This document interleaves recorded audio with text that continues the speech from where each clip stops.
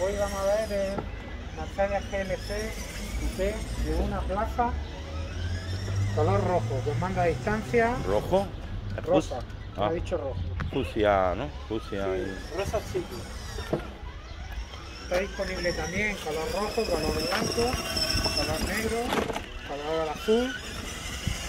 Y este es el modelo GLC Coupé. Cambia un poco la parte de atrás. Lleva ruedines, ¿no? Para Aquí, cuando se exacto, agota la batería. Lleva ruedines, las puertas que se le abren. ¿vale? El asiento de una plaza con funda de polipiel. El asiento es muy, muy, muy blandito. Y las ruedas también son muy, muy, muy blanditas. Se puede ver aquí cómo, cómo cede. Son de goma igual. Sí, bastante, bastante blandas. Si te acercas por aquí, vemos lo que lleva.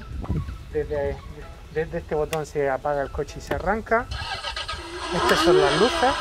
Si enfocamos las luces, eran las luces traseras. Son luces LED. Y si te vienes por aquí, vemos las luces delanteras.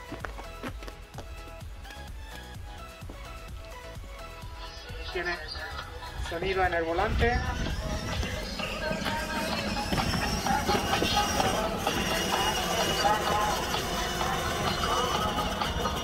Y mando a distancia con tres velocidades. Este sería el mando a distancia. Sería esta tercera velocidad, eh, primera, segunda y tercera. El mando a distancia tiene un gran alcance, alcanza más de 30 metros y tiene botón de parada de emergencia. El coche tiene velocidad progresiva. El coche tiene velocidad progresiva y tiene marcha adelante y marcha detrás también. Se puede conducir en modo manual o se puede conducir con el mando a distancia tal y como estamos viendo ahora. También tiene un pequeño reproductor de, de música que lo podemos ver aquí en el cual le podemos eh, insertar un USB o una tarjeta micro SD y podemos reproducir canciones en formato MP3. También tiene canciones pregrabadas que podemos darle y reproducir. Un- Una pregunta, Sí, Jaime. sí, Eh, sí. Hemos visto los ruedecines traseros, pero no hemos visto el asa de transporte. Claro, debe ¿La tiene o no? Pues debe de tener por aquí una. A ver, a ver cómo... Sácale los ruedecines, ¿no? Están ya sacados. Ah, Creo. a ver. O es que son así, fijos. están ya sacados los redecines. Vale, son así, ¿no? Se coge el asa.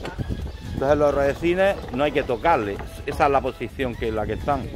Puede quitar o se pueden dejar puestos. Vale, cuando se agota la batería simplemente es coger el asa ¿no? Lo y, y llevarlo como, como una maleta, por así decirlo. De todas maneras, la batería se va agotando poco a poco y cuando le queda poca batería, Es mejor lo cargarlo. vamos a notar Sí. porque el coche corre menos. Sí, sí, es mejor... Lo mm, ideal es parar y, y cargarlo. sí, sí, que no, no agotarla del todo porque eh, se muere la batería. Exacto.